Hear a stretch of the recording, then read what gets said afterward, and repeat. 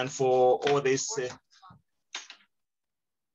yeah, for for delaying the, the, the meeting, but uh, uh, uh, thank you very much for the opportunity to come and present before you again. Uh, yeah, my name is Brian Jere. My, I am a senior clinical specialist MR radiographer and a practice educator facilitator for uh, the trust I work for in the United Kingdom.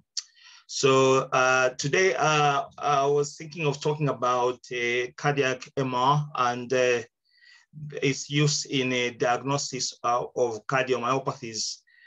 Uh, so I'll just give an opening statement, basically that cardiovascular magnetic resonance imaging is and cardiac computed tomography after offer advantages for detecting left and right uh, ventricular dysfunction in patients with or suspected of heart failure.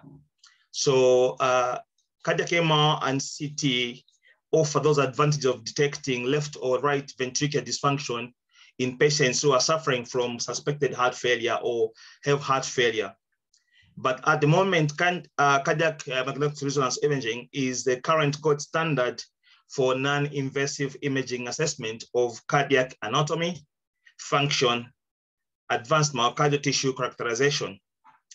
So, you know, at, uh, you know, cardiac uh, magnetic resonance imaging actually does not expose patients to ionizing radiation, as we know, and it's quite well suited for functional assessments and for serious studies. Uh, when, when I talk about serious studies, I'm talking about the surveillance that takes place in patients that we follow up for different cardiac problems.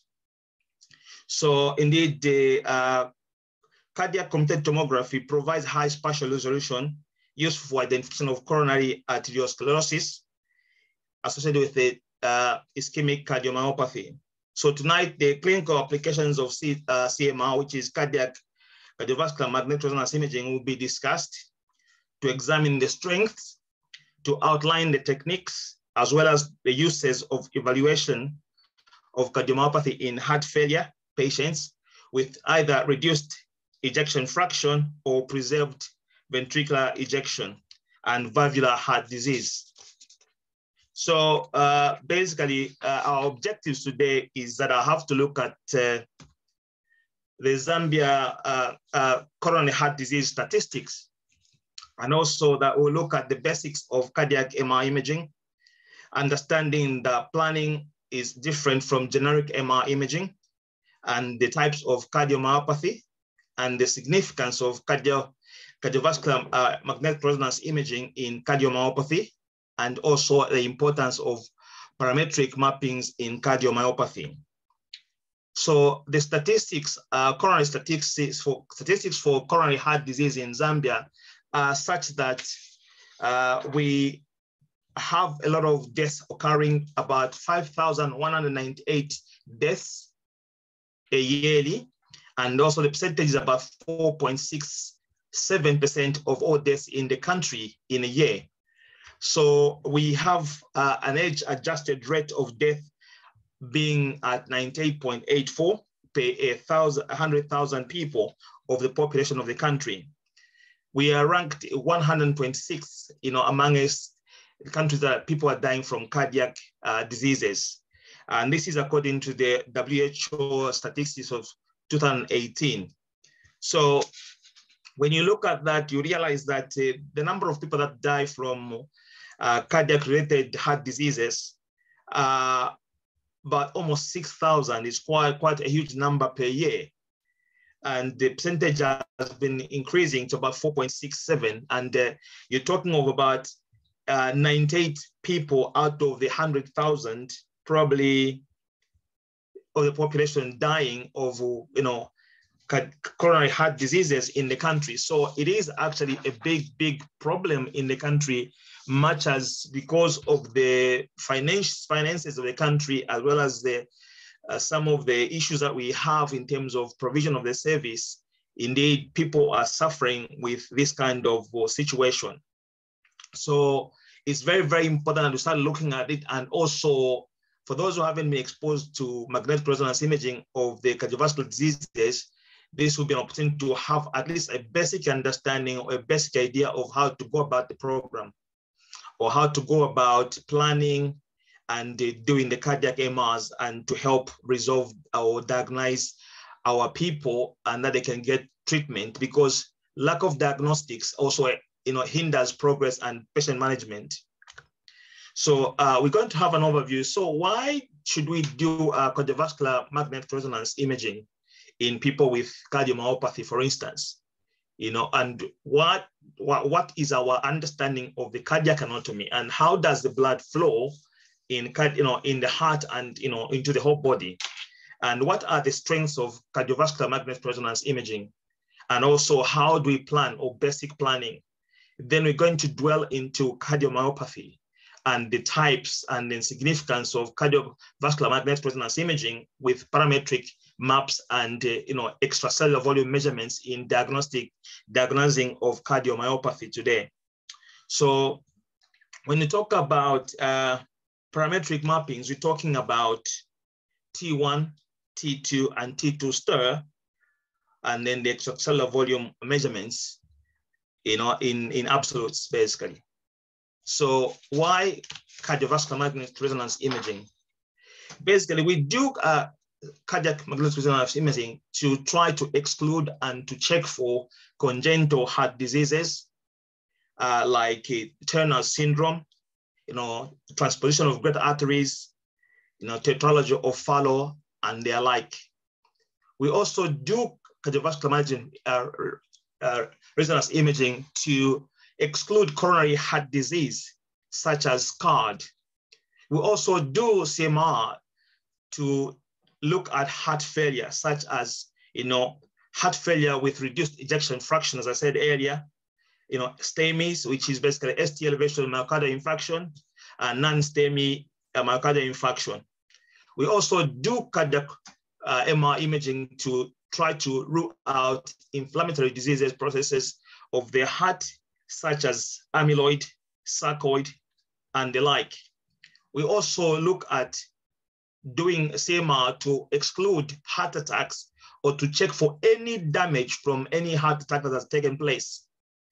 You know, we also look at that to look at heart valve defects, heart muscle conditions, such as cardiomyopathy, that is dilated cardiomyopathy or hypertrophic cardiomyopathies, when you talk about half, uh, heart valve defects, we're talking about people who, instead of having three uh, clasps of uh, the, the uh, being trileaflet valves, they end up having two, where two of them are fused to make one and then the other to make what we call uh, a valve, which is basically bilateral, you know, uh, BAV, basically. So it's basically what we call yeah, you know, a heart valve, instead of having a trileaflet, it has two leaflets basically. So this is why we're going to talk about those. So basically, CMR is used to check for congenital heart defects, as I said, coronary heart diseases, heart failure, inflammatory disease processes of the heart, heart attacks, and checking for any damage from any previous heart attacks. Heart valve defects, muscle, heart muscle conditions such as uh, dilated cardiomyopathy and hypertrophic cardiomyopathies. So we cannot talk about the heart without talking about the anatomy of the heart. We need to understand anatomy before we can actually go into imaging. So you've got a picture there, it's just on the left side of my screen, which is showing how the heart sits. So the location of the heart basically sits in the chest. And indeed, it is very, very much in the center. And one third of it protrudes to the left because the heart lies very oblique, you know, and it is surrounded by lungs and uh, also we've got some greater vessels up there over the heart at the top, which is basically the base. So when you look at that, there is another picture which is actually showing the layers of the pericardium and the heart wall we can see that, you know, in here, if you can see my, my mouse nicely, we have this blue thing that's showing, which is actually the epicardium. And we've got the red thing here, which is the myocardium, and we have the endocardium there. So these are the muscles of the heart. So this is like a chunk of the heart taken out to demonstrate how the heart layers are. So what is the heart? You know, how do you define the heart? What can we say or describe? How do we describe the heart? So a heart is actually a muscular organ about the size of a closed fist, which functions as the body's circulatory pump. It pumps the blood through the network of arteries and veins that make up the circulatory system. So the heart plus circulatory system gives us what we call the cardiovascular system. So it is located in the thoracic cavity, medial to the lungs and posterior to the sternum. The true position of the heart in the body is very oblique. So hence why I said when you're doing MR of the cardiac of the heart, the generic imaging that we do in a, in, a, in a human body are very different from the heart because the heart lies very oblique. So the best of the heart is actually at the superior portion, which is which is actually at the top. Uh, just go back to, so when you look at the heart here, so this is the base here and the apex at the bottom there. So the base of the heart is very superior and it lies superiorly. And that is where the attachments of the aorta, pulmonary arteries, veins, and the vena cava. So So the best of the portion uh, of the heart projects slightly to the right of the sternum with the apex you know, resting superior to the diaphragm and turned downwards, projecting to the left of the sternum. So approximately a third of the heart's mass is on the left side of, uh, a third is on the right side and two thirds of the heart mass is on the left. Hence why when we're younger, people would say the heart is on the left, but it's just two thirds of it that protrudes to the left. This oblique orientation affects the locations of the heart chambers relative to each other. So most superior and posterior chamber is the left atrium. The RV is the most anterior chamber and the LV is the most inferior chamber as its superficial portions form the apex of the heart, as you know. So when we talk about the anatomy there, so we're gonna talk about the anatomy definitely because when you look at the heart as it is, I'll use this black and white picture there. So we do have those chambers. We have the left, the left ventricle, the right ventricle, the left atrium, and the right atrium. So above that one, we have the CSVC, which is superior vena cava, and the IVC, which is the inferior vena cava. So basically, the blood flows into the into the heart this way. It flows from the venous flow, venous blood comes and enters into the from the superior vena cava and the inferior vena cava, so SVC and IVC, comes into the right atrium and then goes through the, the right atrium into the right ventricle via this pulmonic valves, which is labeled T there, you know, via the the tricuspid valve, sorry, which is labeled T there, into the right ventricle, and from the right ventricle into the pulmonary artery via the pulmonic valves, or what they call the semilunar valves. So once it does that, blood enters from SVC, IVC into right atrium via the tricuspid valve into the right ventricle, into the pulmonary artery via the pulmonic valves or the semilunar valves. So from there, it goes out to the lungs for purification and it comes back and enters the heart uh, via the pulmonary veins, which is this one here. Come on, I can see it. This one here. So it comes from there and gets into the left atrium into the left ventricle and into the aorta after it is being purified and full of oxygen and nutrients via the aortic valves here and into the aorta and to the rest of the body. So,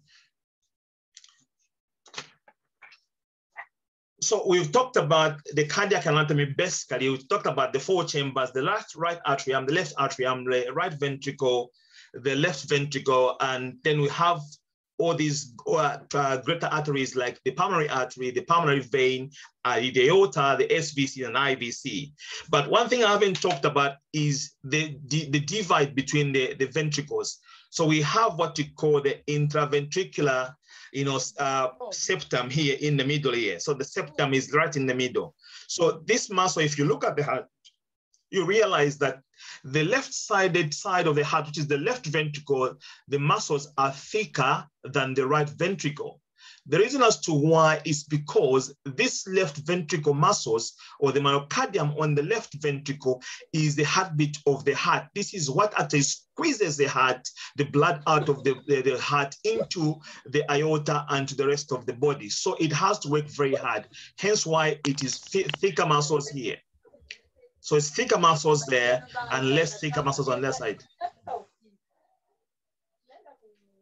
So so now we've known that uh, this is how the, the anatomy is, and that is why the heart looks the way it is, and that's why the muscles on the left ventricle are thicker than the right because it is that part of the body that actually squeezes the heart and indeed releases the blood volume from the left ventricle into the aorta, via the aortic valves.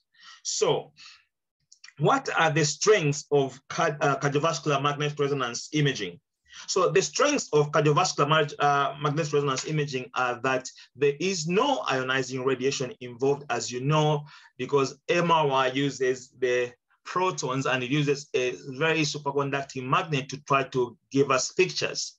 So basically what happens that because the human body is made up of water, fat, and bones, all of those do contain carbon, hydrogen, and oxygen, but we do have an abundance element of hydrogen in the human body. And because we have that, indeed we use those because hydrogen are the same as protons. So we try to magnetize those and make them into small magnets by excitation. And once we excite them, then we have differences in terms of the energy levels where other, other, other protons will have higher energy and the other ones will have lower energy and they align into the body, some towards the head and some towards the feet.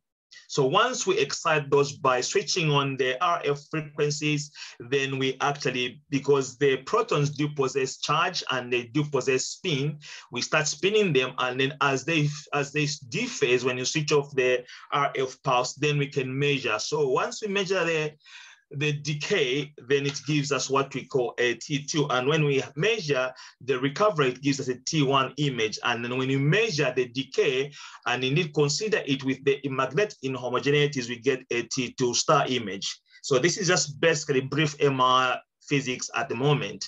So the cardiac MR uh, gives us no ionizing radiation because it uses the magnet and it has got unlimited planes and also it gives us what we call a multi-parametric study. And this multi-parametric study is actually unparalleled for functional, anatomical, edema, and scar imaging. Also, cardiovascular magnetic resonance imaging also gives us excellent non-invasive ischemia testing when we talk about stress studies and start with the adenosine or dobutamine we do use stress, you know, instead of stressing the patient in other ways, we'll still put the patient on the table, lying on there, give them adenosine or dobutamine, and they'll feel like they are exercising. And then we can measure, we can, can do the imaging of the heart and see how the vessels are working and how the heart is coping under stress.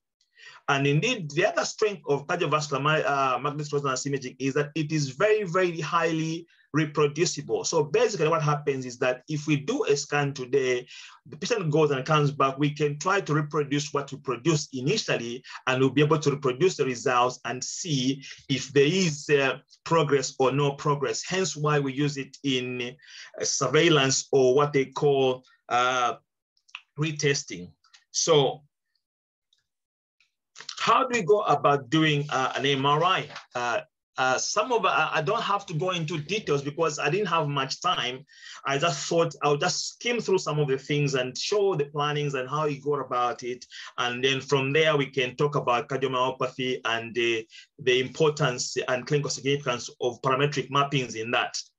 So uh, before we do a, a cardiac MRI, we need to get the heart we need to, uh, to, to put some ECG dots on the chest and try to look at the heart and see how the heart is working and then be able to take pictures according to a certain beat of the heart. And you know, most of the time we use beats to take heart, uh, take the scans. So the gating here, as you can see, we've got a chest torso here of a human being here. And then uh, we have one there, which is actually a white, which we put on the right-hand side of the patient over the clavicle. And then we have another one that goes onto the, the green one onto the fourth intercostal uh, muscle, this one there. No, yeah, and then we have one below the nipple, which is basically that one, and then the one that's in the mid axillary line. Uh, uh, the reason why I've showed this on this, this picture is that where I work, we used to have a GE scanner, which never had uh, ECGs that, uh, or the, the Peru or the what they call the physiological ECG and respiratory unit was quite different from the Siemens that I now use. So this is taken from a Siemens scanner. We use that because it has got quite long uh, cables to allow us to put it that way and we get really good ECG gating. So beforehand, we just used to put stick the dots just right in the middle here, in the middle of the heart. So even our gating was not great. That's a GE one. But we are now use the Siemens Aera 1.5 Tesla, which actually allows us to do this. So this is how we position the leads. And sometimes if they, when you look at the gating and it's not working well, you can just try to choose and select which ECG leads you want to check when once you're doing the scans. You can change from ECG one to ECG two to ECG three to just check which has got the best you know, outcome and best beat before you can actually continue to do the scans. So once you've done that, you've put your patient on table, you've put the ECG dots there, you've connected them to contrast if you're using contrast, and you've put a coil over the chest and then uh, giving them the headphones for the instructions, obviously, because we'll be doing a lot of breath hold instructions for the cardiac scanning. You now put the patient in the, in the magnet to start the scans. So the basic planning views. So we do have basic planning views. When you look at MR as it were, indeed, uh, the generic planning in MR is very different from how we do the scans of the heart because a standard axial and coronal views, we use them to just start as localizers. Where I work, we do have a few localizers around before we can actually start doing the scenes and we get into the business end of the cardiac scanning. What we do is we use like a star, just the first scans, which you call the localizer, basically just a standard axial, a sagittal image, and a coronal view. And when we do that, you know, that's how we go about it. But this is just the basic start once you've done that, you go to a second localizer, which we call the isocentering localizer. Basically, you're trying to get the heart in the isocenter of the magnet before you can actually start doing your, your scans. So once you do that, then the generically things change. You stop scanning, looking by the human body as we do in MRI generic uh, imaging, we start looking at the card, the cardiac, uh, the, the, the ventricles, the, the valves, and just the obliquity of the heart to do the scans. So the cardiac imaging plans are double oblique planes oriented to the heart chambers and valves. So when we're trying to scan, we're actually looking at orienting our, our, our orientations to the obliquity of the heart to try to look through the chambers and to look through the valves because that's where the problems do exist. Some planes, in fact, they may mimic those of echocardiography and cardiac catheterization, as you know. So this is the basic planning. So where I work, we use an axial FIESTA breath hold, and sometimes, you know, a consultant does change things to see I want to have a black blood or white blood, uh, you know, images. So we do this. So this, as you can see, this is just a, a plain localizer which was done initially, which is actually a coronal image. Then we have a sagittal image there. Then and the, and then we, we should have actually uh, an axial image, which is basically that that one in the corner. So when you look at the uh, this coronal image, the lines are I'm starting from the top of the heart just above to just show the vessel, the greater arteries, and down to the whole heart and into partly into the liver. This we do because we want to just check if there's any transposition of other uh, organs in the body or dextrocardia. So this helps us to look at those things. And if there's any transposition of the organs, then it changes the whole ball game. So this gives an idea of where we are and what we're scanning. So when you look at the, the, uh, the sagittal image is basically from the top down there and to cover the whole heart. And those pictures do give us this other picture here, which I can see, which is actually an axial. So this axial, you can see that there is an element of the, the lungs at some point. I can't really show nicely there. Well, I can't see, I can, where am I, where am I? I cannot see where my mouse is. So you can see uh, the lungs there, the heart, the heart there, the aorta there, and the, obviously the vertebral body there. So as we do that, this gives us like a four, like a four chamber, almost like you know, uh, a modified four chamber view. So for us to get to do uh, a, a two chamber, we'll use that. Uh, we use this four chamber with this modified four chamber here and and plan along like, like as the green line is demonstrating. So we plan along the green line, which is going to give us a two chamber view followed by this arrow. So if you see from what we're planning, this keeps going. Yeah, from the four, uh, from a modified four chamber, we scan through and show this green line here, we get this picture here, which is actually a two chamber. This two chamber is not a proper cine two chamber. This is just a two chamber localizer. As I said, in cardiac imaging, we do loads of localizers before we actually get the business end of the scanning. So from the localizer, which is like a, uh, like a coronal and a sagittal anaxial, we're able to get a two chamber. So from the two chamber, which we actually had, and the same oblique uh, four chamber that we get, we will be able to get a short axis. So basically, when I look at, when you look at this picture here, this is a two chamber that we got, a two chamber localizer. But also, because we do other, other scans that we do like short axis, so in this case, when you look at this picture here, you know that's a two chamber localizer. So you, these yellow lines here are actually the planning scans. And here they, they are in green. They are the same lines to give us this picture here, which is actually a short axis of the heart. So we're using the, the long axis two chamber here and the long axis four chamber here to get a short axis chamber here. So this short axis chamber gives us a picture like that. This is a series of pictures and we have about eight to 10 images of that normally. So when we get that, we do have this, it looks like an eye and a beak there. So we, we call it the puffin head. A puffin is a bird, so we call it the puffin head. So the puffin head basically is what we can see like You've got the, an eye there and a beak there. So when you're planning to get a proper four chamber, you have to go through the beak here. You have to go through the beak, which is that one, and then through the middle of that one. So basically, when you look at the picture like that, this here is the ventricle, left, uh, left ventricle, right ventricle. So when we, when we do that, we can take that and then get a four chamber. So when we do a picture like that, we get a picture like this one.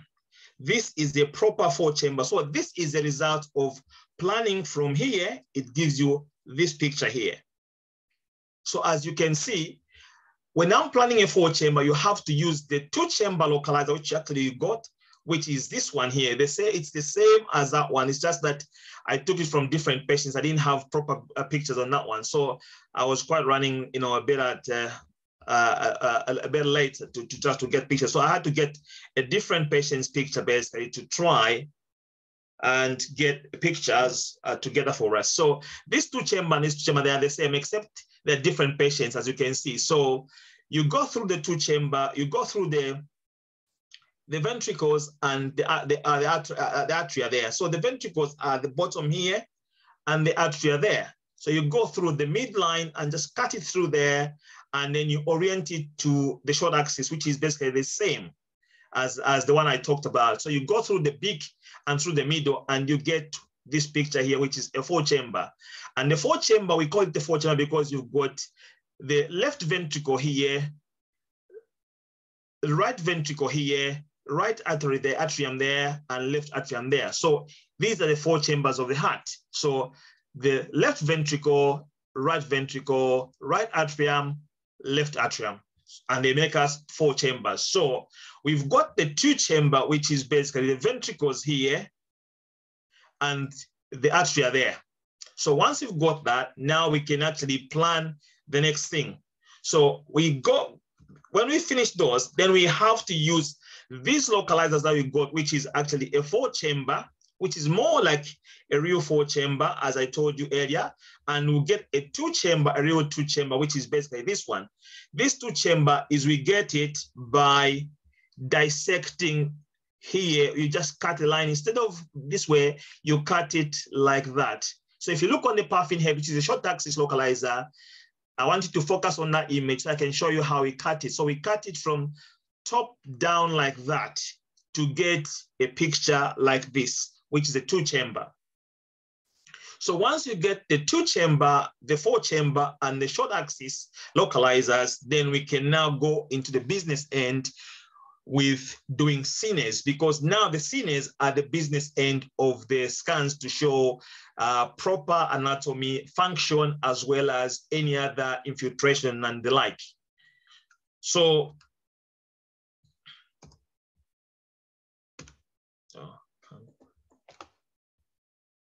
my, my slide is stuck a little bit.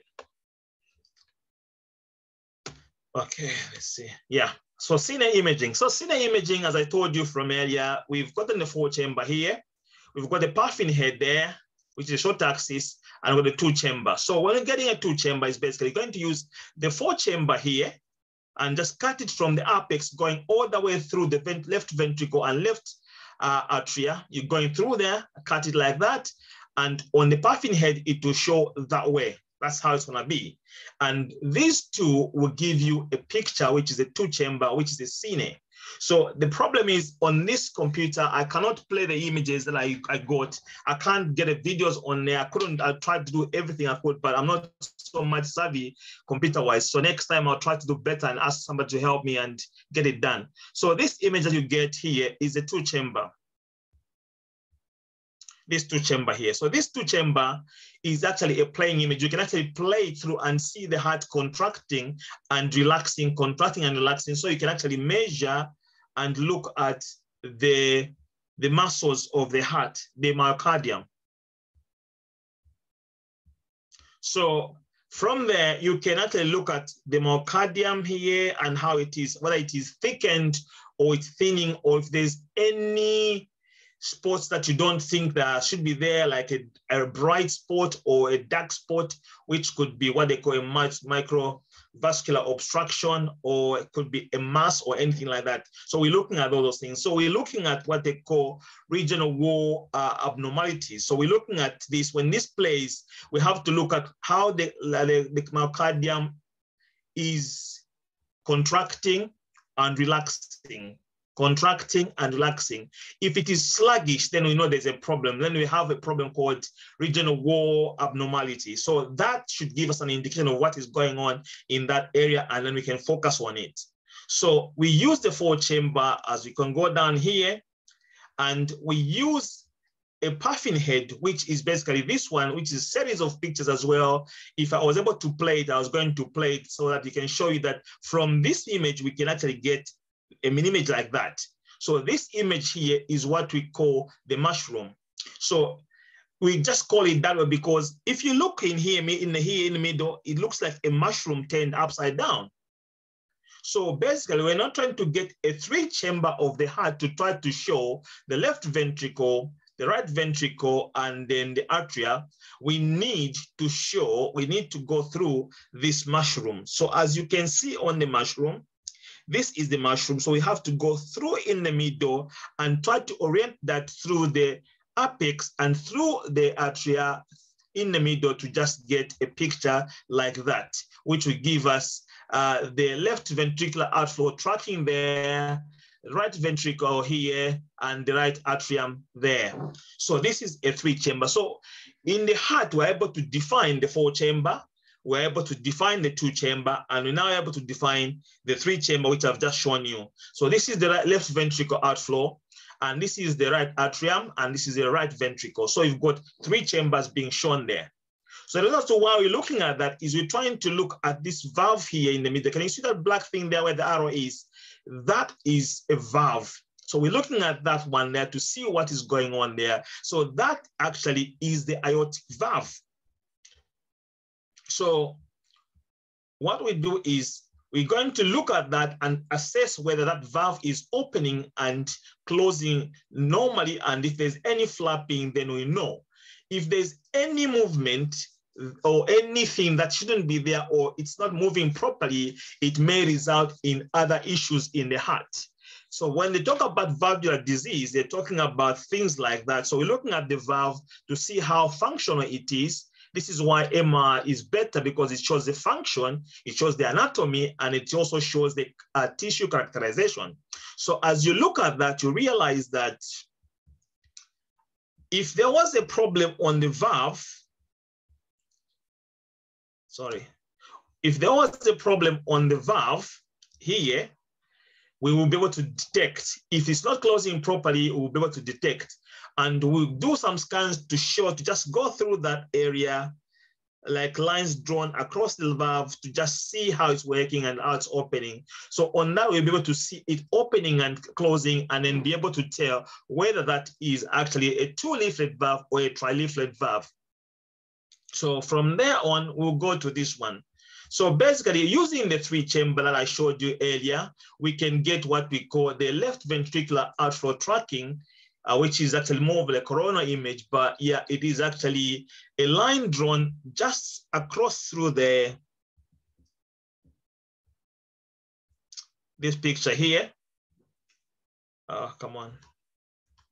Yeah, just this picture here. So you can see this is a you know, left ventricle there, going like an aortic root there coming, and then you know, and the the the, the ventricles there and the artery there, and this is the root. This is the root actually of the the aorta, and you've got the the valve there, and this is what they call the ST junction or the sinotubular junction. So that is where the valve is. So you just cut that cross that line, in, uh, through that line to get a picture like this, which will give you the left ventricular outflow tracking.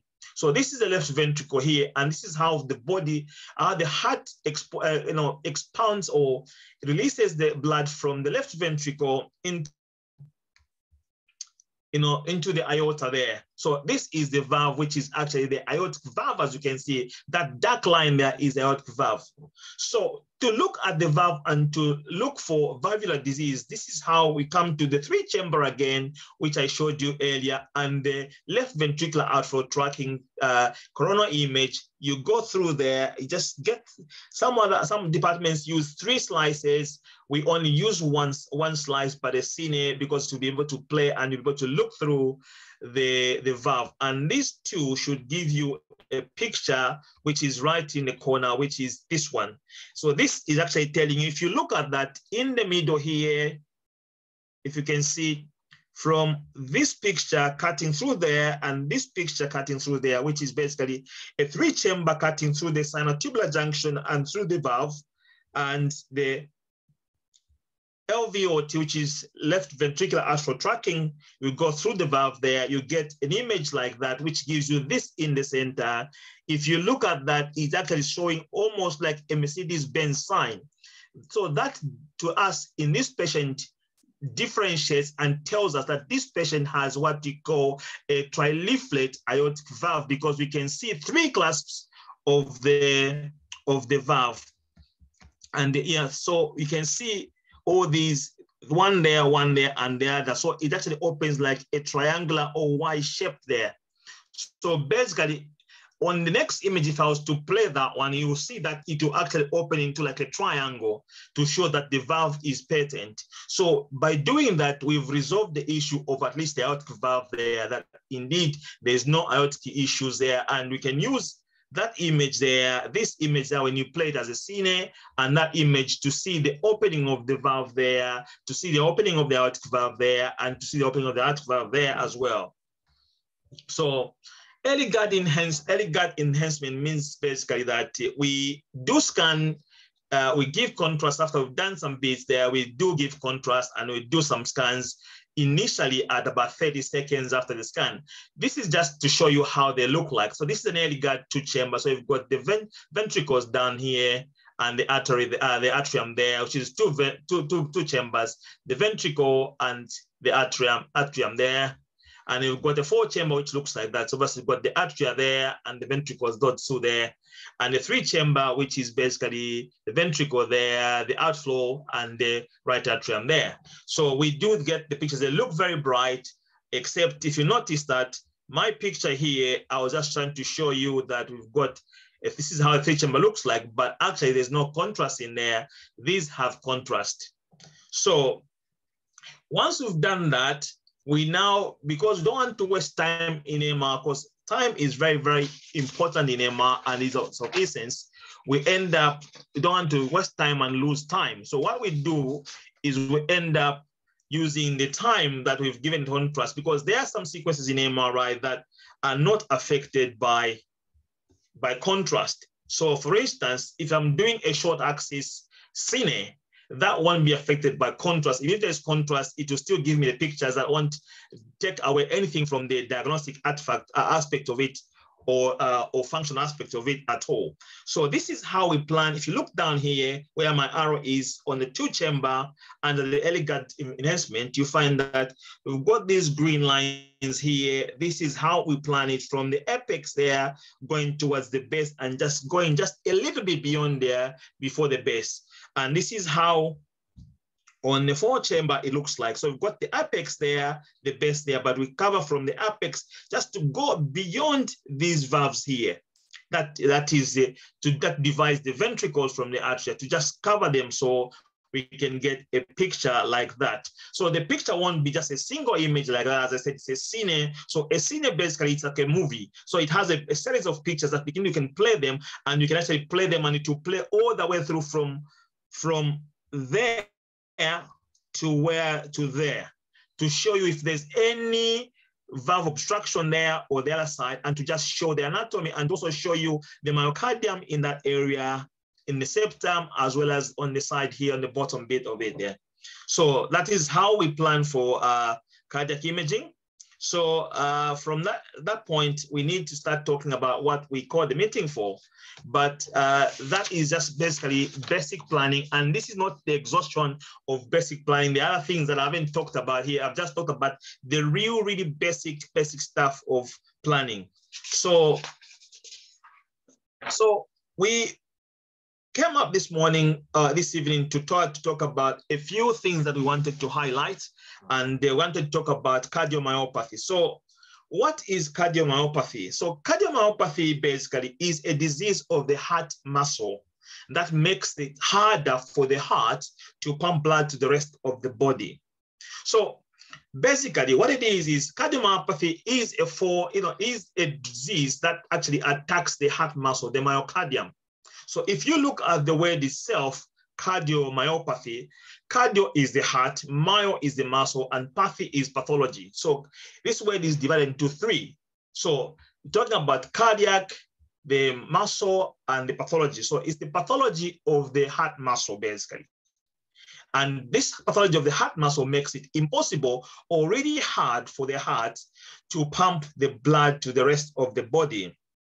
So we'll talk about it and the types of cardiomyopathy. So what are the types of cardiomyopathy? Cardiomyopathy basically is a generic term that they use for to just try to talk about pathology of the heart muscle. So it is quite, uh, these are the main types, but they quite there can be quite a few. Like, uh, you know, some of it is done uh, caused by uh, diabetes as well as high blood pressure, but then the others that are actually we know, like in this case, we're talking about the types that we know uh, quite prominent. So these are dilated cardiomyopathy, or HOCM or DCM or HOCM, which is hypertrophic cardiomyopathy, or some of them call it hypertrophic obstructive cardiomyopathy. And then we have the restricted cardiomyopathy, and then we have what they call arrhythmogenic right ventricular dysplasia. So these are the four main types of cardiomyopathy. Dilated cardiomyopathy, also sometimes called as idiopathic cardiomyopathy, hypertrophic cardiomyopathy, restricted cardiomyopathy, arrhythmogenic right ventricular dysplasia. So what is dilated cardiomyopathy? So when you're talking about uh, dilated cardiomyopathy, you're talking about the, uh, the inability of the heart to uh, heart chambers, particularly the left ventricle, you know, when they become enlarged and cannot effectively pump blood out of the heart. So in this case, they're saying left or the right ventricle dilatation and failure in the absence of coronary artery disease. So coronary artery disease is a disease that affects the arteries when the arteries get clogged up and they narrow or stenose or harden such that blood cannot perfuse through. So if there's that absence of coronary artery disease, then this problem can be caused by other things. But if there is an absence of coronary artery disease, hypertension, valvular disease, or any congenital heart malformation, then this one, because of the failure of you know, uh, the failure uh, the failure of the heart to pump the blood out of the system and also the dilatation of the ventricle that renders it to be called a dilated cardiomyopathy because the ventricle is dilated and the heart is failing to pump the pressure to pump, pump the blood out of the, the body because it can't exert enough pressure because there's a thickening of the muscle and there's pathology in the muscle. So normally patients usually present with shortness of breath, signs of congestion in an identical way to heart failure. And indeed, there are many causes of dilated cardiomyopathy. Friend, I know people like enjoying a drink, but we have to be aware that indeed drink, we have to not abuse it, but to take it in moderation. So some of the causes of dilated cardiomyopathy are alcohol abuse. Some of it lands in the family. Indeed, myocarditis, which is the inflammation of the myocardium, and the post-treatment or chemotherapy, you know, uh, some of those people who've had cancer and they've been exposed to radiation to try to treat the cancer and try to use chemotherapy as well, like drugs with like uh, examples of drugs like adriamycin or doxorubicin, they do cause uh, cardiomyopathy dilated. So indeed, things like hemochromatosis, thyrotoxicosis, and thiamine deficiency. So this is how a dilated cardiomyopathy appears. So this is the normal heart on the left side of the screen, which shows the heart, the vessels, and the muscles very nice and nice and thick nicely, but also very, very in shape. When you talk about the other picture on the right side of the screen, you realize that this is actually a very good example of how a dilated cardiomyopathy actually operates and how it looks like. When you look at that, the vessels here, the muscle in, you uh, know, you know, the septum is thickened, but you realize that the muscle on the inside of the left ventricle actually is thinning. Because it's thinning, it starts now bulging out and it becomes almost like a globe instead of this like a triangular shape, it more goes like oval oblong shape. So this is actually what dilated cardiomyopathy looks like from a picture. So we're going to talk about uh, hypertrophic cardiomyopathy. Others call it hypertrophic obstructive cardiomyopathy. So that one is actually a Hypertrophic obstructive cardiomyopathy is a diffuse or segmental left ventricle hypertrophy with a non-dilated or non-hyperdynamic chamber. So basically, in this sense, you know, we are talking about something that comes out from different types of things. So we are talking about hypertrophy. Hypertrophy basically, it just hyper is way higher and trophy comes to, to do with, you know, uh, something going wrong. So if there's any diffuse or segmental, basically, if there's a part of the heart or the left ventricle, the muscle, part of it is actually hypertrophied. It's like thickened or hardened or stretched. Then causes what we call hypertrophic cardiomyopathy. So this happens in the absence of another cardiac or systematic disease capable of producing the same magnitude of hypertrophy that is evident. So sometimes this is caused by mutations of the genes, particularly the genes that encode the cardiac sarcomere proteins. So uh, hypertrophic cardiomyopathy actually is characterized by myocardial hypertrophy affecting the intraventricular septum. Remember I showed you from the picture. So basically talking about this here, the septum here. This is the intra, intraventricular septum because this is between the ventricles here. So this is why it is. So it affects that as well. So and that is the characteristic of hypertrophic cardiomyopathy. So how does it look like? It does look like here. So when you look on the left side of the screen, you realize that this is a normal heart. As you can see, it's very nice triangular shape of the ventricle there nicely. And then here, it changes because it's, you know, they talked about the intraventricular septum thickening. So as you can see in this picture here, you realize that the interventricular septum here actually is thickened, but as well as the, the wall of the ventricle on the side, which is also thickened. So because of that thickening, there is less space for the, for the blood to fill in there.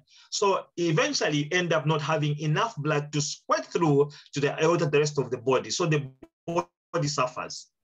So because the, the, the, the ventricle, the left ventricle is hypertrophied. So there is a left ventricular hypertrophy here when you look at the thickening of the muscle and the interventricular septum. So that leads to uh, problems in the fact that the body or the heart cannot get enough blood in the ventricle to pump it out the rest of the body and the body suffers, particularly the peripheral aspects of the body like the toes and the fingers, they will suffer. So when you talk about phenotypes, so basically these are the types of, these are the types of HOCM. This is just the types of hypertrophic cardiomyopathy. So we did talk about the hypertrophy of the uh, of the, the of the, uh, the ventricular wall. So when you look at this diagram, which is diagram A, this is for the normal heart. This is a normal heart. As you can see, the left ventricle wall is thicker, the septum is slightly thicker, but it's okay. When you look at uh, diagram B, which is actually a septal hyper uh, or hypertrophic cardiomyopathy, it is septal because when you look at that, the septum in the middle, as you can see here, if you can follow the arrow, it is very thicker. And it's not just thicker, there is, it is also causing an obstruction here in the left ventricle outflows tracking there. There's squeezing of that area, that space there, it's smaller as compared to the normal heart. So this is actually what they call asymmetrical septal uh, hypertrophic cardiomyopathy with left ventricular outflow tracking obstruction because this is obstructed. When you look at the type phenotype C of HOCM or hypertrophic cardiomyopathy is that you look at this one and you realize that the septum is thicker, the muscle is thicker. So this is also asymmetrical because it's not symmetry, it is different. So it is, this one is called uh, asymmetrical septal hypertrophic cardiomyopathy with preserved or non-obstruction of the LVOT or the left ventricular outflow tracking, which is basically, I'll show you, if I can get my mouse working, I can't see it. Okay, I can see it now. So when you look at that, this is thickened here, thickened here. So it is asymmetry, asymmetrical because it's not in portion, but this is asymmetrical hypertrophic cardiomyopathy of the septum, but also with not non-obstructed LVOT here, which is basically left ventricular outflow tracking. This one is not obstructed as compared to this one. So the difference between the two is this is an obstructed, this is obstructed. When you look at the phenotype D, this is actually an apical HOCM. So because of the apex here, the whole apex is actually thickened and part of the interventricular septum is thickened. So this gets thicker. So basically, this makes the heart makes it harder for the heart to pump because the heart muscle has to be elastic for it to pump. So if this thickens or hardens or stretches, it becomes difficult to get that power and the pressure to get the blood to all parts of the body. So when you look at diagram C here, uh, uh, diagram E here, diagram E is, is what you call a symmetrical HOCM. So if you look at the way it's looking on the picture here, my mouse, where's my mouse? If you look at the diagram E here,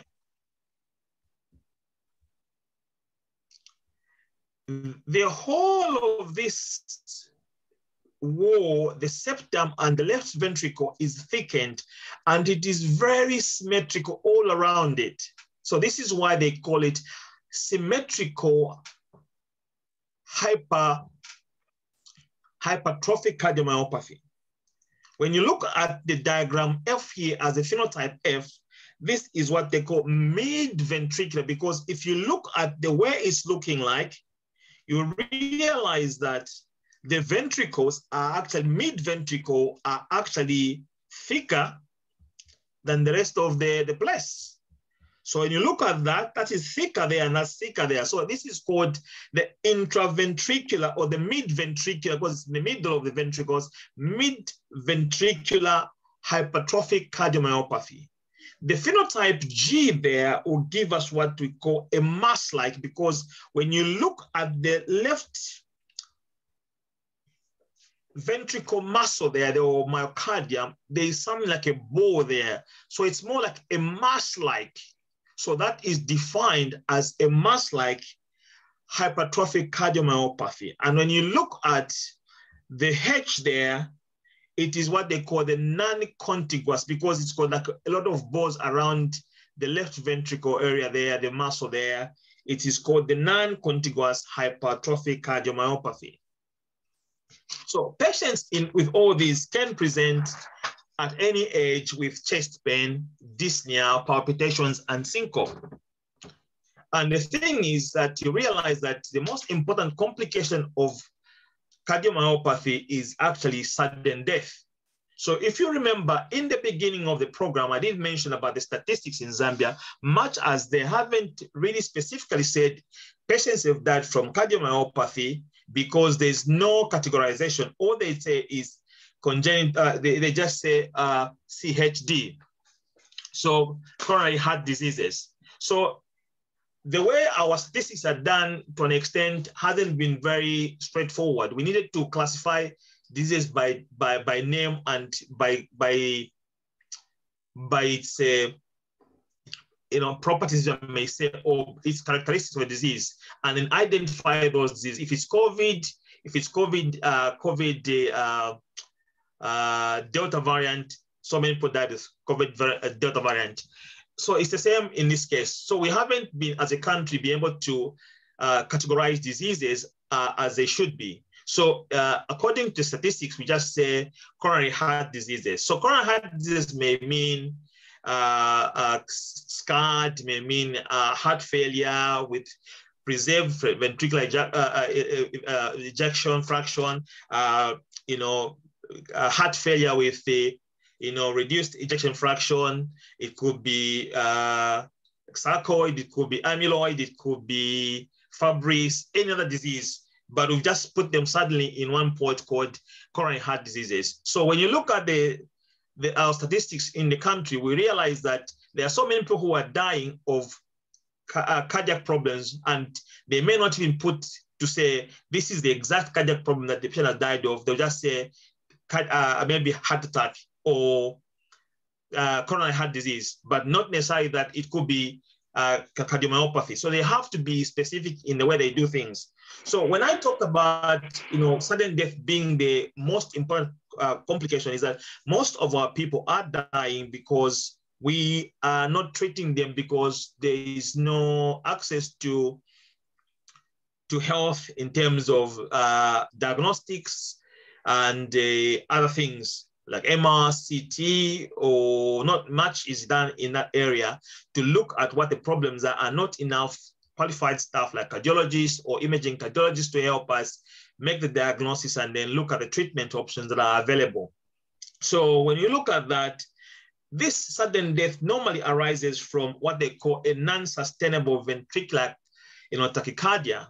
So sometimes people go into what they call a VT, when talk about getting, they go into VT, and that VT is just too much that somebody cannot sustain that VT, and eventually they just drop dead.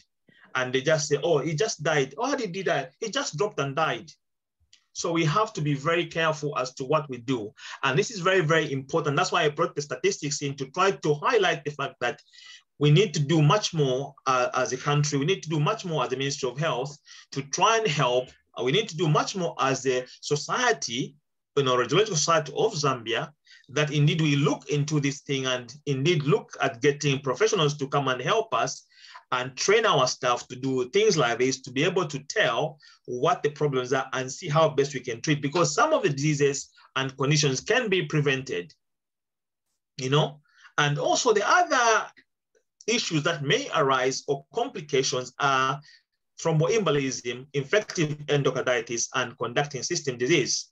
So people talk about having palpitations, but if we go in detail, we look at some, some of the so-called heart palpitations are not necessarily palpitations, they are probably what they call arrhythmias.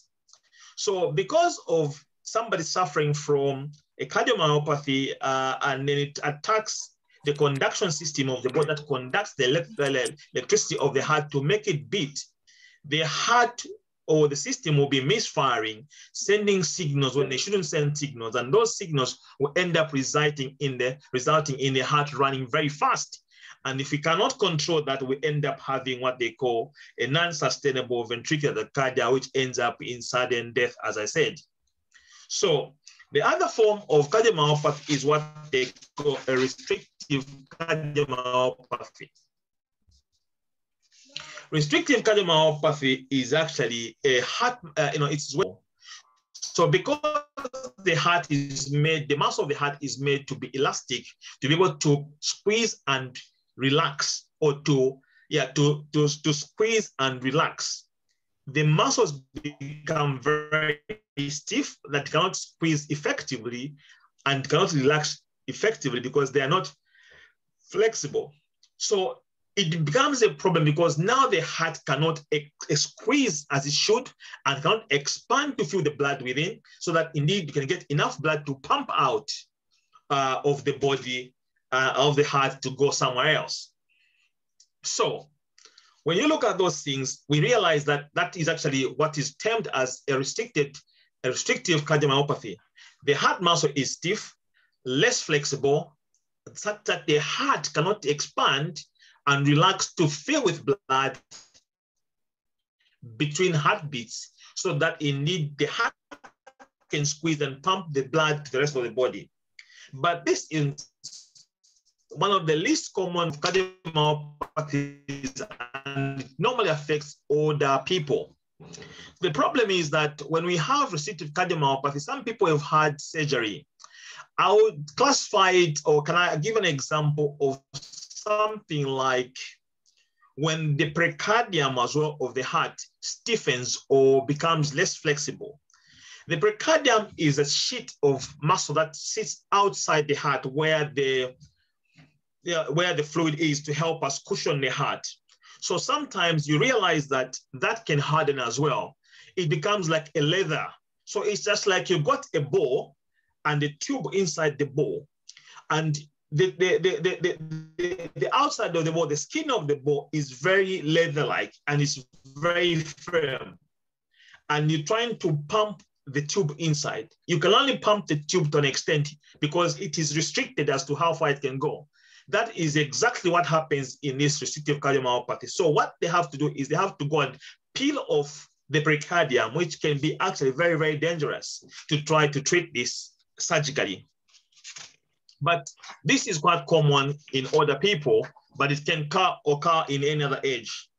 So restricted cardiomyopathy patients do present with predominantly right-sided heart failure and also what they call the raised, you know, jugular venous pressure, and also they may have hepatomegaly.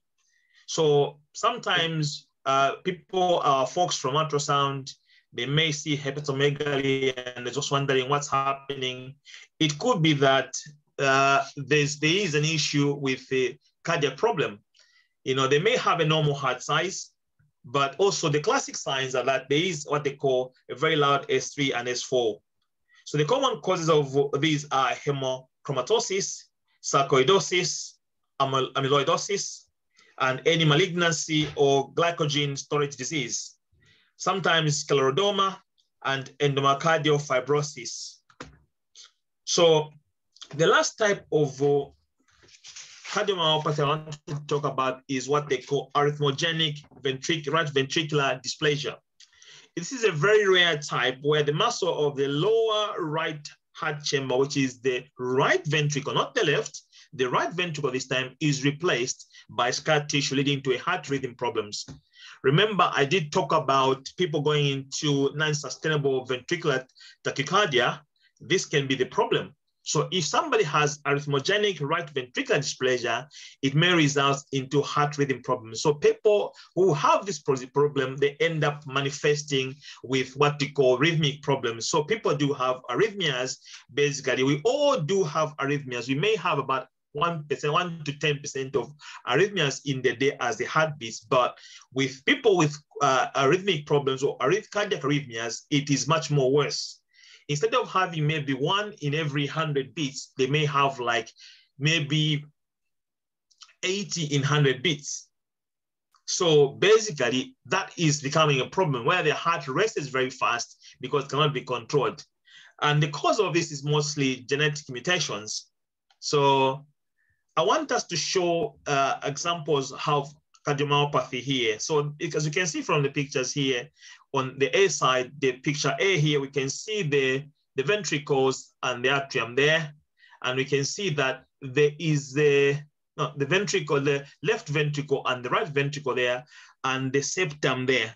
You can see that there's this arrow there. There's what you call, if you look at the arrow, there's something that's appearing a bit white there. That is what you call uh, fibrosis there. So yeah, it's a, it's it's quite it's quite common because the, the heart works very hard. So that can be fibrotic, but that is also when you see that it gives you an idea of what's happening. But when you look at the, the septum there, it is thicker than the walls outside here.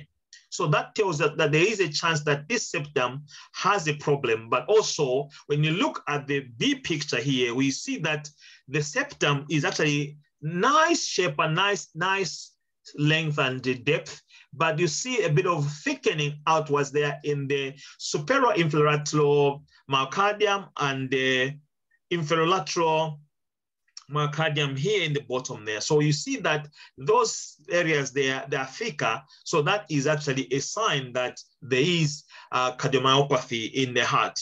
So when you're looking at the cardiac uh, MRI and you're looking at the short axis image like this or a cine, you're going to see things like that showing that. If you look at A here, you see that there's a thinning of the muscle there, but there is a thickening of the muscle, which actually corresponds to what I was talking about earlier in about the phenotypes of HOCM and stuff like that. So this is just an example. Another example here is when you look at that picture, another short axis image, which showing that the left ventricle there and the right ventricle here. If you see the walls here look all right, a little bit of thinning there, but okay. And the thinning, thin septum until you get the top there, which is actually the superior, you know, superior lateral area there. It's very thickened as demonstrated by the arrow there. So that is also one of the telltale signs of uh, cardiomyopathies. When you look on this picture this side, which is actually a three chamber image, can you see the thickness of the muscle there at the top? And can you see the thinning there? This is the tubular junction here, and you can see the valve that is the aortic valve there. But as you can see, there's a narrowing of this space here. As there's narrowing this space there, it leads to a condition called SAM, which is basically a systolic anterior mitral valve uh, uh, problem uh, uh motion. So that SAM is not a very good thing because if there's motion there, because it will cause this valve here, where is it? Oh, where is it?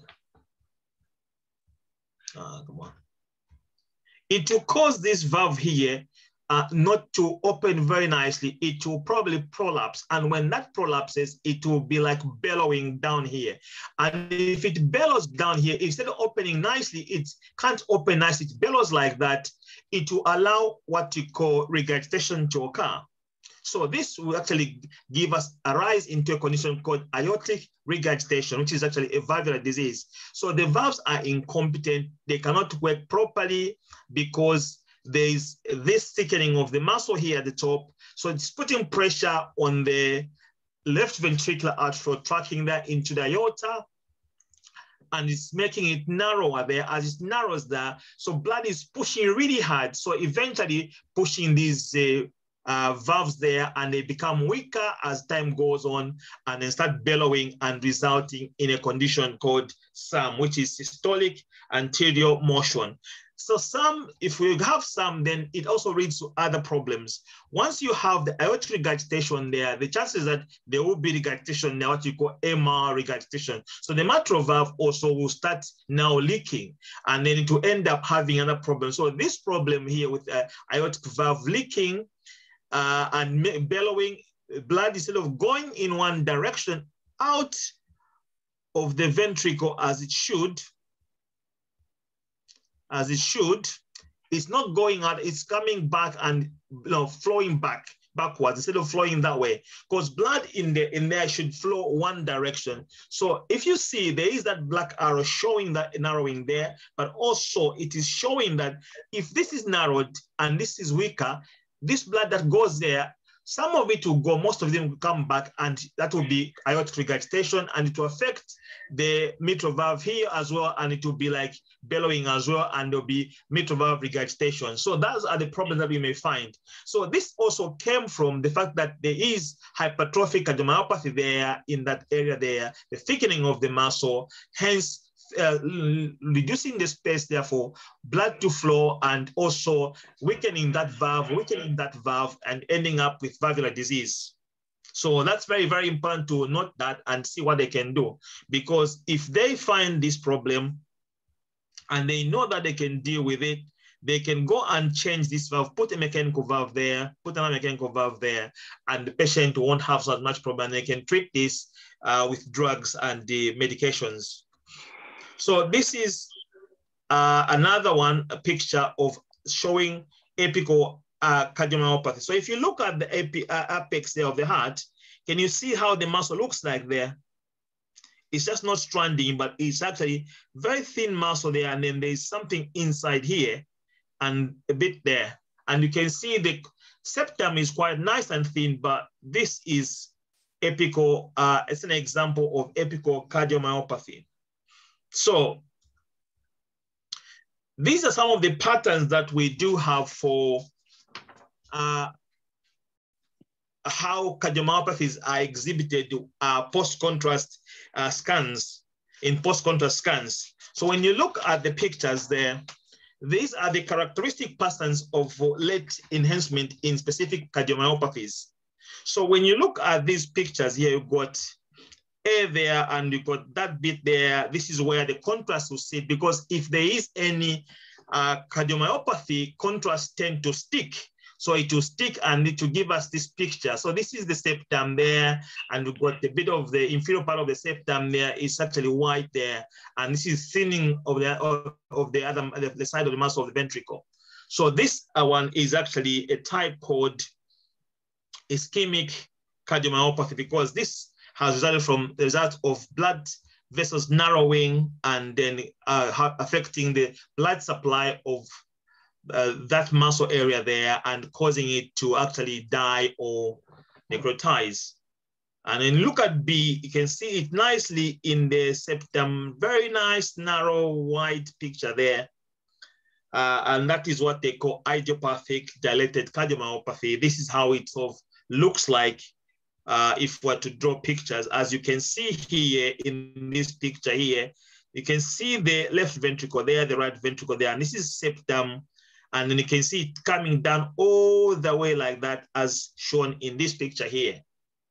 So whilst in here, you can see that the bottom bit of the uh, interventricular septum, the inferior aspect of it is not being supplied and there's necrosis of the muscle there, as you can see from here, there's no blackening of the muscle because the muscle should look very black and now because when we're doing the delayed scans, we do what we call a T1, a TI scout, which is basically uh, a picture that we do to look at the heart muscle to see the nulling point of the heart muscle. And once we understand the figure at which it is nulling, basically it's moving from being bright into gray into black and into some gray.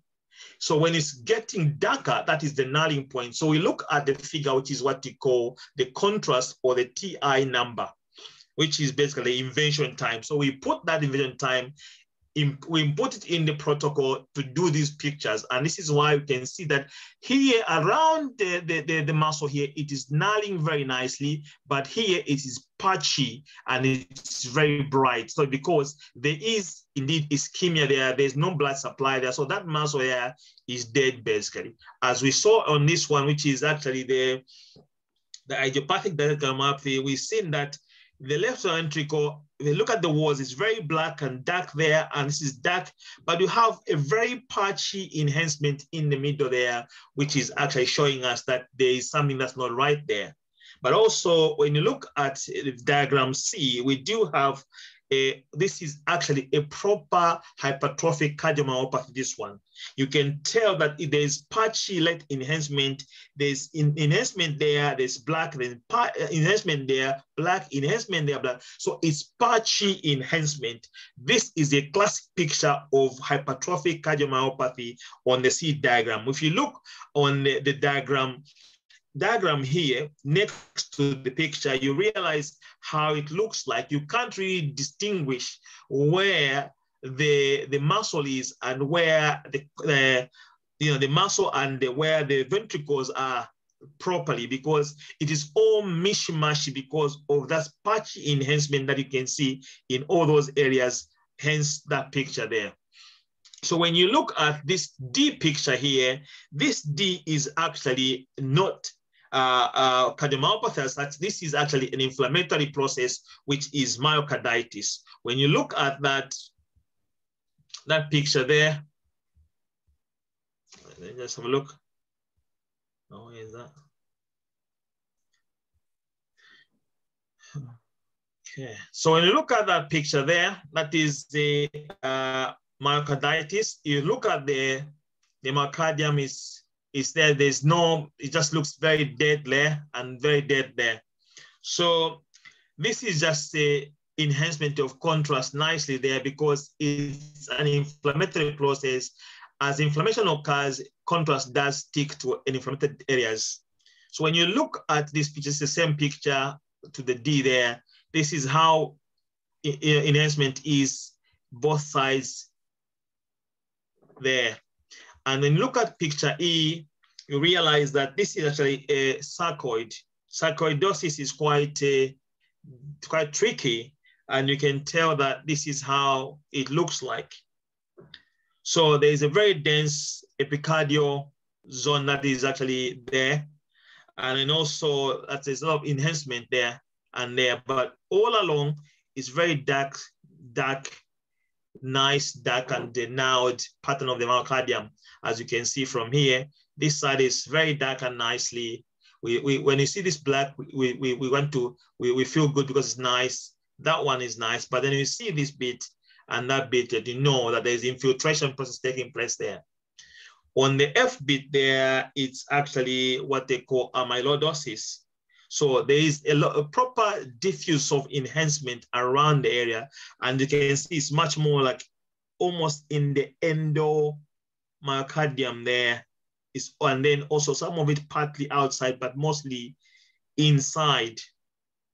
So those are some of the pictures I can show you to just show the types of cardiomyopathies and how they show on late gadolinium imaging. So in 2009, the, the, the, the Congress in America brought up what they call the Lake Louise criteria in inflammatory cardiac diseases. So basically what this consensus uh, came about, uh, came to do was to, to recommend that the combination of different uh, cardiovascular magnetic resonance techniques in patients with saturated inflammation, they use these as a criteria. So those patients who are uh, exhibiting signs or suspected of having inflammatory diseases, they said they should come up with a plan to say, how do we look at these people? So these are the guys that came up with a plan that indeed two T2 weighted spin echoes will be used in scanning patients to determine myocardial edema. So if there's any swelling of the myocardium, you will see it on T2 weighted spin echo sequences.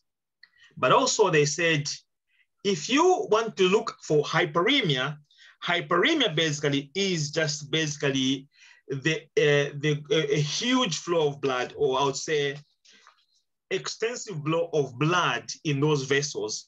You will see it in T1 weighted spin echo images. But if you want to see any necrosis or dead tissue, you only see in late gadolinium enhancement pictures as you saw from the previous slides. So the Lake Louise criteria enable detection of focal or diffuse inflammatory reaction using a semi-quantitative approach. So basically what they're saying is they are using the eye. So it's a naked eye. It's all analysis was visual, looking at different types of tissues and then visually saying this could be, this could be hyperemia, this could be myocardial edema, this could be necrosis, just using the eye. So the problem is that T1 weighted spin echo frequent uh, free breathing images are normally done when the patients cannot hold their breath. And normally they are useless. They are very, very difficult to interpret because the diagnostic quality is very, very limited because the patient is breathing and trying to scan. You can't really analyze tissue in that you know, moving images.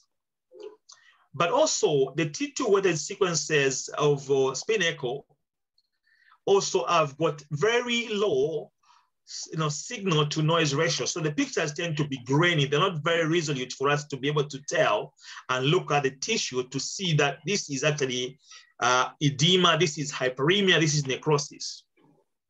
So conventional MR indeed relied on you know, image signal intensities to highlight and label areas deemed abnormal compared to areas deemed normal. So basically it was just visual assessment. So if my eye sees it this way, your eye may see it different. So this is why it was very difficult to actually come up with a proper tool. So this is why after the cine, which we talked about, the cines images and the late gadolinium enhancement and the perfusion imaging as in sometimes stress, and parametric mappings are actually regarded as the fourth era of the myocardial, you know, cardiovascular magnetic resonance development. So basically what this has done is to add a second or a fourth dimension to what we've been doing. The cines alone would do, do tell us about anatomy. They will tell us about the function in terms of regional uh, motion abnormalities. The left guards will tell us for any enhancements uh, to tell us whether it's sarcoid, it's amyloid, or it's just a fibrosis. Indeed, the previous scanning also would tell us that whether there is any narrowing of the vessels uh, or there's indeed nothing of that sort.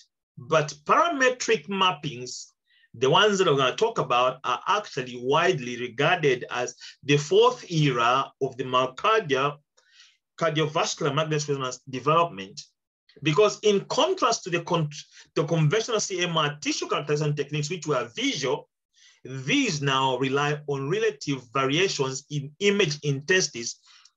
You know, sorry to say, in contrast to the conventional CMR tissue design, which relied on visual, you know, uh, visual appreciation to look at the image intensities to highlight any abnormal tissues.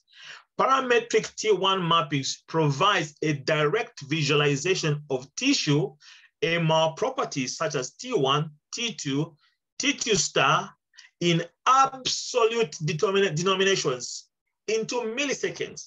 So basically they're talking about this, that these mappings are actually very much quantif quantifiable. You can quantify these and you can actually reproduce this quantification at a later stage as compared to a visual. Because when you look at the conventional way of looking at tissue characterization, relying on relative variations in image intensities to, to note any abnormalities, if this radiologist looks at them and sees this and thinks it is this, and this one sees it differently, you cannot reproduce that. But with parametric provisions and mappings, you get absolutes, T1, T2, T2 star. So what are these parametric mappings then? Parametric mappings are actually pixel-wise map of magnetic relaxation parameters. So what we're talking about is that we're looking at the picture pixel by pixel and looking at their relaxation parameters because remember, T1 and T2 have different relaxation times. So we're looking at those relaxation times in T1 and T2 to use a map and look at the pixels because that is what parametric uh, map mappings represent. They give us a pixel-wise parametric map, which brings in spatial information for a complete assessment of their myocardium. So this is very technical, but basically they are looking at pixel by pixel. So if they look at that, it is easier to quantify that and be able to reproduce that than a different eye look at different eye. Because when you look at the visual aspect of analysis, it is subjective. This one may say this, this one may say that, another person may say something different. But with this parametric mappings, you actually talking about absolutes. So if the value was one millisecond, the next time they do, it has to be one milliseconds. If there was no disease, if there was disease, it was like 10 milliseconds, it has to be 10 milliseconds or it's reducing or growing. They are absolute numbers. So you can actually say this is absolute. So what these parametric mappings have done is that they have expanded the potential of cardiovascular MR imaging to allow us quantify the myocardial tissue specific relaxation times on the absolute scale. And this myocardial composition can be altered in various disease states. So if somebody has fibrosis, it will be different. If somebody had amyloid, it will be different. If somebody had cardiomyopathy, like a, uh, uh, hypertrophic cardiomyopathy, it will be different. If somebody had an inflammatory process like myocarditis, it would be different. So using parametric the parametric mappings, we can actually quantify that. So what does T1 maps do? T1 maps actually measure the T1 reduction time of both the pre and the post-contrast administration images that are acquired and will be used to calculate the extracellular volume fraction. So when they use the T1 maps, I'll show you an example of T1 map as we go down, don't worry about it. So the T1 map is actually a measure of the T1 relaxation time in both the images that we've acquired without contrast and the images that we acquire, we acquire with contrast. And we use those to actually calculate what they call the extracellular volume fraction. So acute myocardial damage or fibrosis will lead to elevated T1 natives. So what I'm talking about is if you put a region of interest in the tissue that you're looking at, you're characterizing, the T1 native will give you a number and to give you what they call a standard deviation, which is either plus two or plus four, somewhere around that, plus or minus two plus minus four.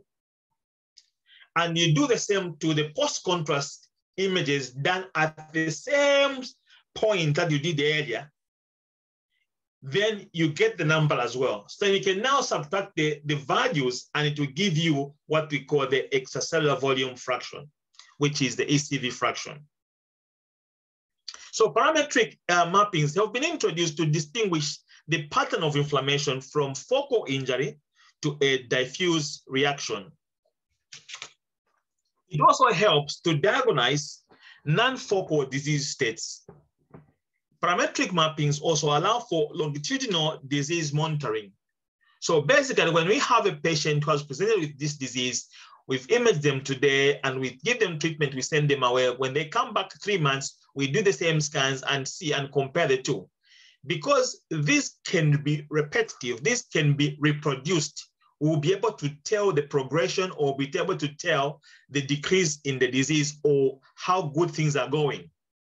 So it helps us to evaluate what they call therapeutic responses. So if they've been treated, we can check them how they were before, we can check them how they are today, we can check them how they will be tomorrow and compare the three and make a decision to say, oh, they are improving or they're not improving. We need to change medication and things like that. It also helps in risk stratification and also differentiation of etiology because every type of disease or different types of disease or uh, infiltrations or problems, cardiac problems, they do have a difference in T1 times. So because of that, we're able to differentiate, or oh, this T1 time is this, so it could be uh, uh, myocarditis, could be, you know, uh, amyloid, could be sarcoid, it could be Fabry's, and things like that.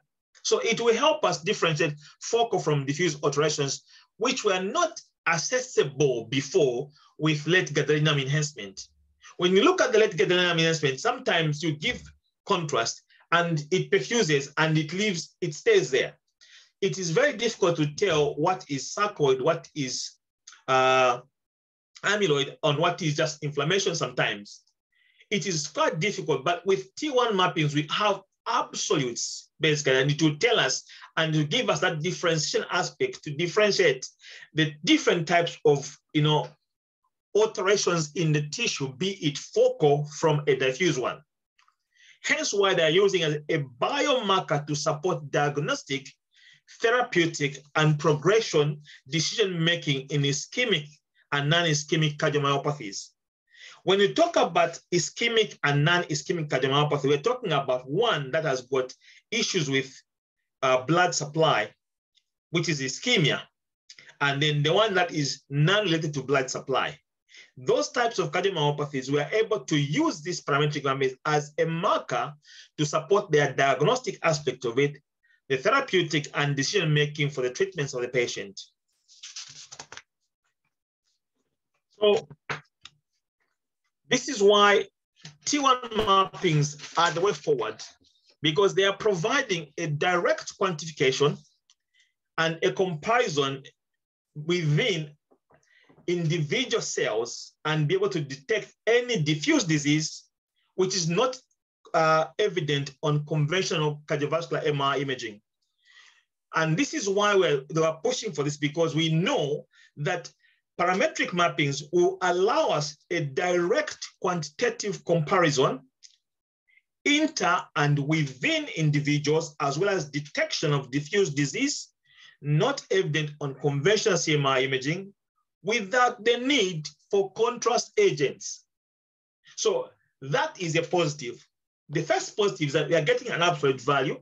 The second one is that we are going to get direct quantification and compare what's happening between cells and tissues.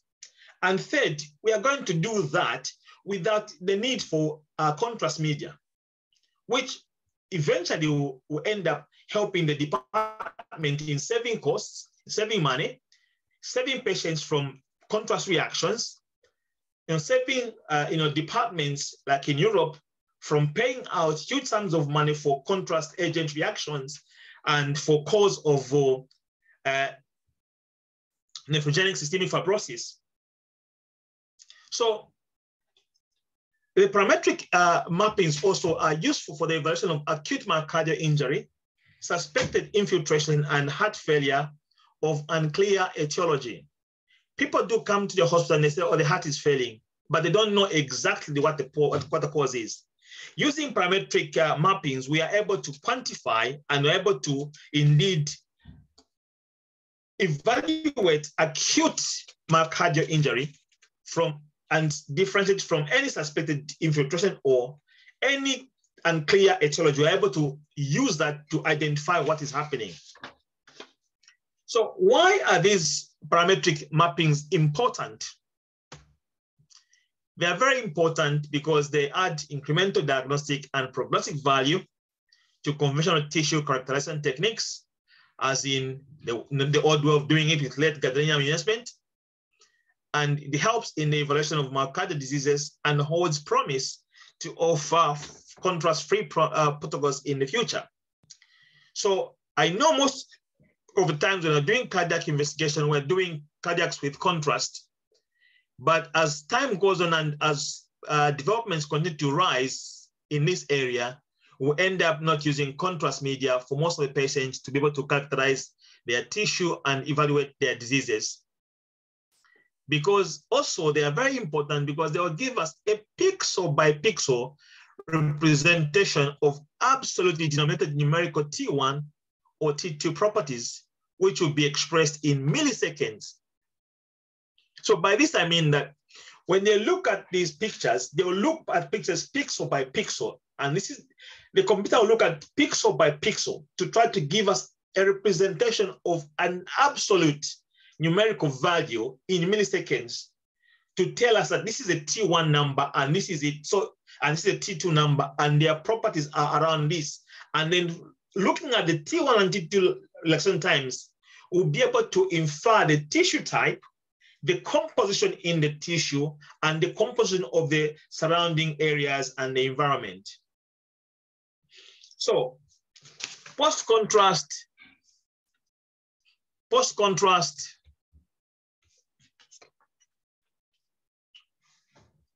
T1 mappings. So I did talk about the calculation of the extracellular volume. So basically how we do this is we look at the myocardial tissue and the myocardial T1, which is usually longer, but it is shortened because of the administration of, contrast media. So contrast media shortens T1 time. T1 time is usually longer, but it is shortened by contrast. So when we do these parametric mappings, we do one without contrast. Then we do in the same place we did the first one with contrast. And then we'll measure the differences between those two. So myocardial T1 is relatively longer, but it will be shortened by contrast. So if the value in the non-contrast T1 uh, parametric ma uh, mappings was say 10, the value in the post contrast, it has to reduce because the T1 time is shortened by contrast. But also the T1 factors can be uh, uh, uh, affected by so many times other than contrast. It can be caused by poor renal function, you know, the age of the patient, and what they call hematocrit. So this is why post T1 contrast measurement by itself can change the dynamics with time because as contrast is being cleared, it returns to where it was before, but it won't be the same, but it starts turning to where it was because there's no contrast in the tissue. But other factors is affecting it is that if the renal function is not working very well, then it, there will be a, a, a difficulty in extraditing or extradition of contrast or excretion of contrast from a human body from the tissue. Hence why the time will stay longer instead of getting shorter. Will start, you know, to, stay, to stay shorter for a long time instead of getting longer and go back to the normal, relatively long time of T1s. So the preferred way of measuring this extracellular volume is using native T1. Native T1 is basically the pre-contrast T1 mappings that we do. We can look at that and then use the region of interest to see how the values are, and then take away or add what they call the standard deviation and then come up with a figure and compare to the other one with contrast. So how do we calculate this extracellular volume?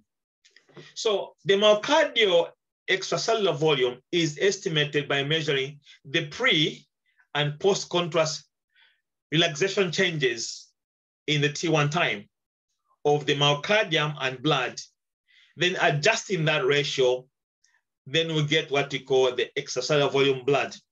So basically, what we're saying here in short is that we take a T1 image, let me just show you. This is how we take them. Just show, just follow me with the pictures, I'll show you.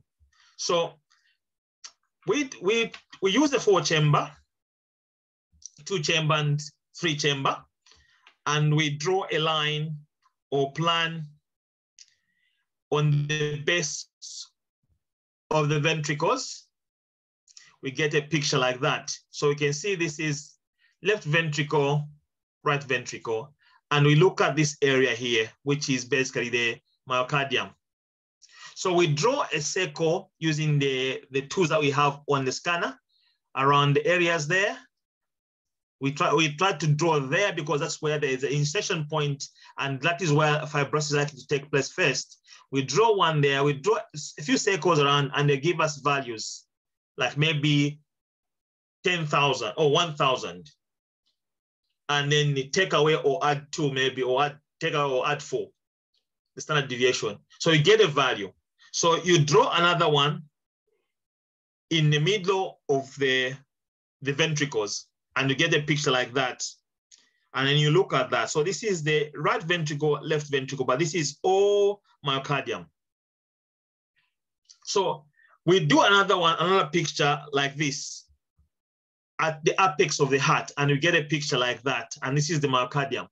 So in doing that, we will do these pictures pre-contrast, get these pictures, give contrast at the end, do in the same in the same area as the first one, which is the base, get a picture like that, and we don't have to do all of them. Normally, we just get, for post contrast, we just get the base and a four chamber like this in, in a mapping like that. And then we compare the resultant values here in the pre-contrast and the resultant values in the post-contrast, and then we can subtract those, and what we have is the extracellular volume. So the best way to describe this is a house. When you're building a house, you use blocks. When you have blocks, you use mortar or cement to put the bricks together to make a house. So in T1, uh, pre-contrast or native T1, you use cement, put the blocks on there and it dries out and it looks fantastic. In T1 post-contrast scans, you get your bricks, you put cement there, you put water in there, and if there's nothing, no problems, it will look intact. But if there is a problem or if there is fibrosis, there is any issues like pathology, you do the T1 maps, it will give a value, like a build a house, cement, and looks fantastic. Post contrast, you put uh, your blocks, put cement and put water, Instead of the cement sticking to the brick, bricks and looking nice, the cement starts coming out, like bulging through the, the blocks. So it looks very ugly.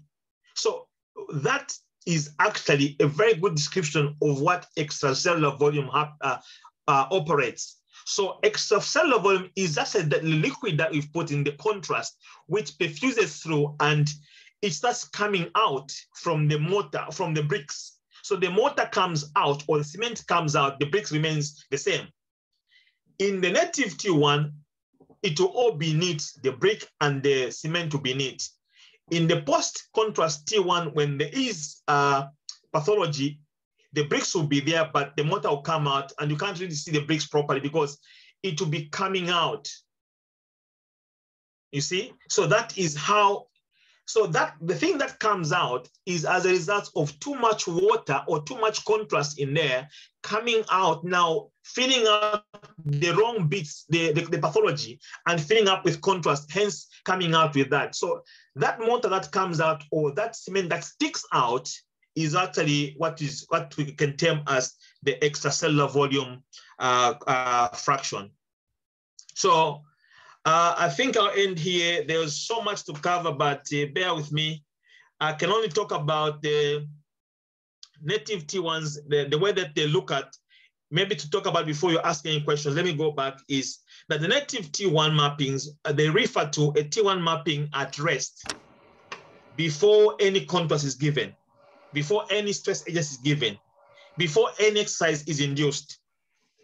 So what it represents is a composite signal from both the intracellular and the extracellular compartments. So basically it's talking about the, the brick and the mortar. So the, each tissue type has a specific normal range of T1 values and deviations from each indicates disease or a change in physiology. So I said, each tissue has different types of T1, T1 times. So if there is disease or there is pathology, there will be a deviation from the standard or from the normal. So native T1 mapping also, you know, characterizes, it is characterized by a relative narrow normal range of myocardial T1. So the range of net normal T1 is very narrow with a very small standard deviation. And this has been replicated in so many studies that have been done that have come up with these values.